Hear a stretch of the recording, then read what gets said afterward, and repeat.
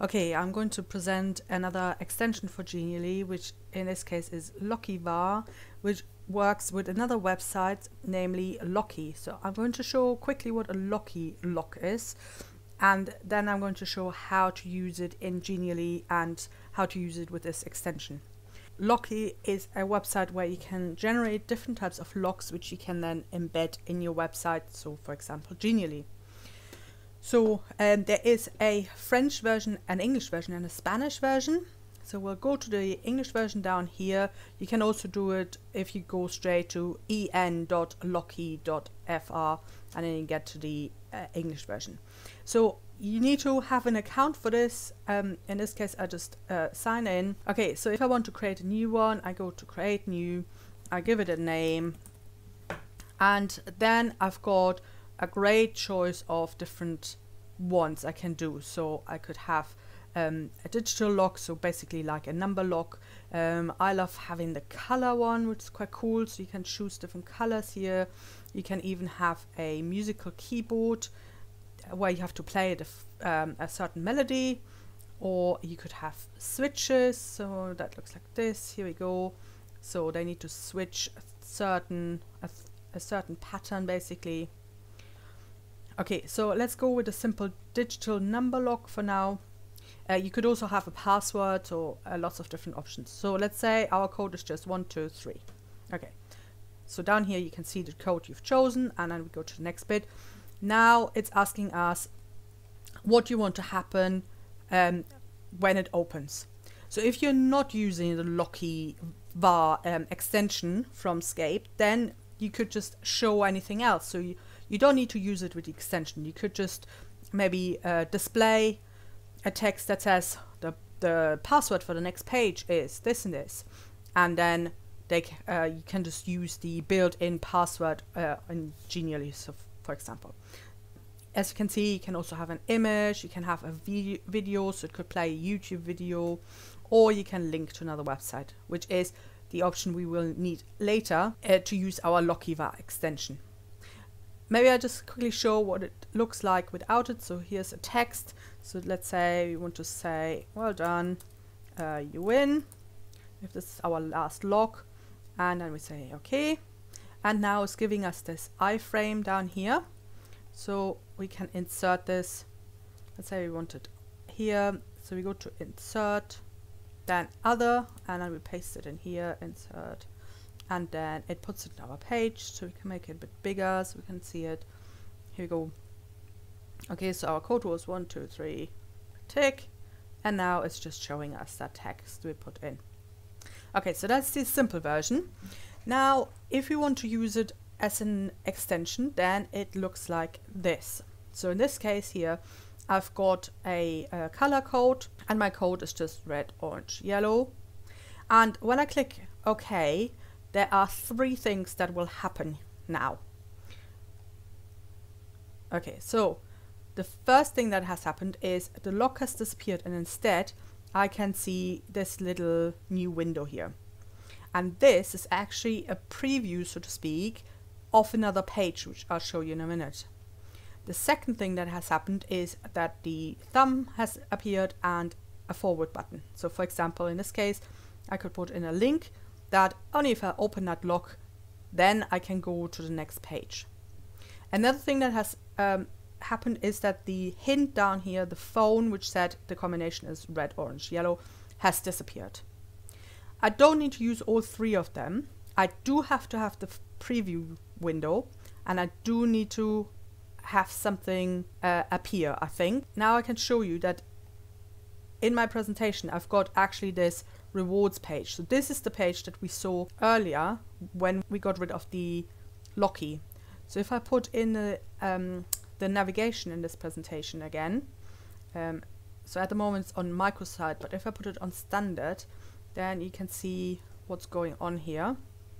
So if I do this again, red, orange, yellow, here, so you can now see that this is actually a little page in there. So I can even go the next page or the page before uh, which in this case actually takes me to back to the page that I'm on at the moment. So we kind of have a page in a page. If you don't want anything to be visible in here, really the only option is to just have this page completely blank or completely um, covered up. So for example, instead of this GIF here, ah, let's do this again.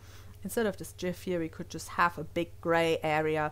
So it just, it will just look as if the lock has disappeared basically. So if we do this again, we got red, orange, yellow.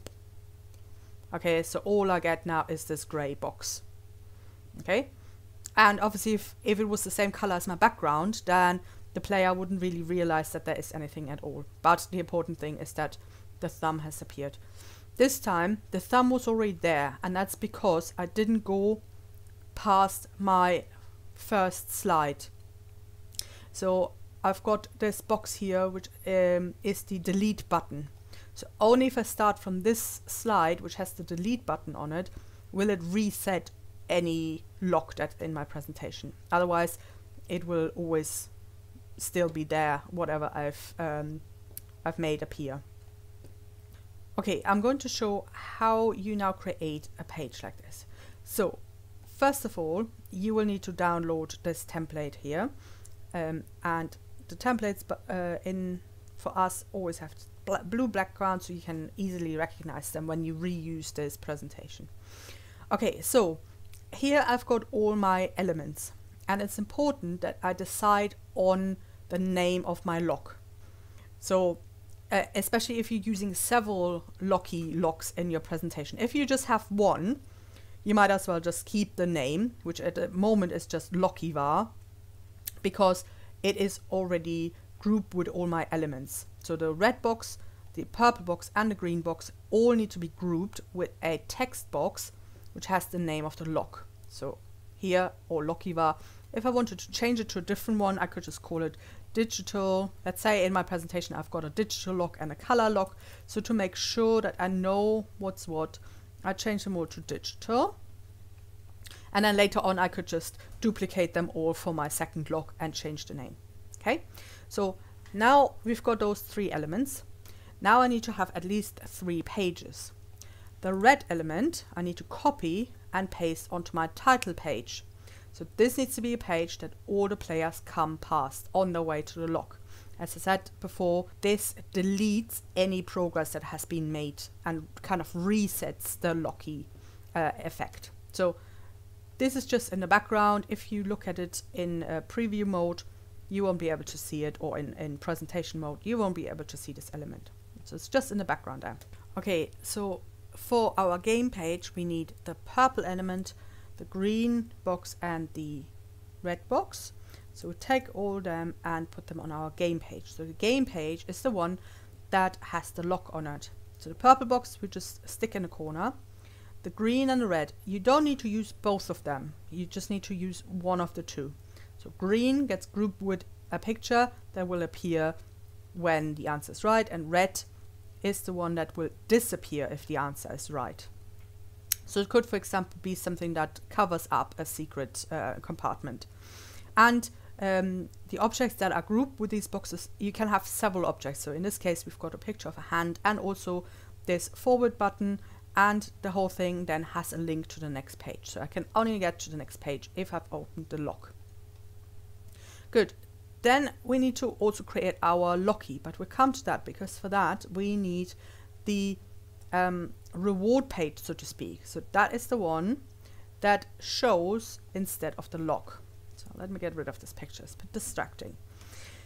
And on this page, we need this green text box and the black text box.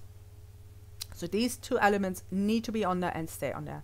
The red one with the code here, with the, the web link in it, this is to get the the code for this specific page. So normally in Genially, um, when you get the link, you can only get the link to the whole presentation, so only from the beginning. But this is another extension from S'cape, which is called Page Reference, which allows you to get the link for this specific page, and that's what we need. So how you get it is you just copy this red box onto the page, go into preview mode. Now we copy this address we can try it out. So if I put this in my web browser here, it should take me to that reward page. Yes, so that has worked. Now that I've got it, I can just delete this. I don't need it anymore. Because now I need to go back to Lockee and edit it. So in this case, I want um, the reward to be a web page and it needs to be that reward web page.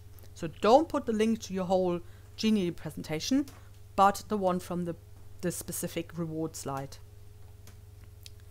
Otherwise it won't work. Okay, so now I can take the iframe here, go back onto my game page. I'll take this out, um, go to insert and paste in a new bit. Okay, so now we've inserted our lock here. We can make it bigger again. And when you go in preview mode, then hopefully this will um, disappear. And instead I will see the reward page and my object will appear here. So as I said, you could have several locks in the same presentation. I'm not sure it will work with the several locks on one page, so that probably doesn't work. But you can have several objects appearing, so you can duplicate um, the green box, so you could have uh, several things appearing at the same time and several things disappearing at the same time.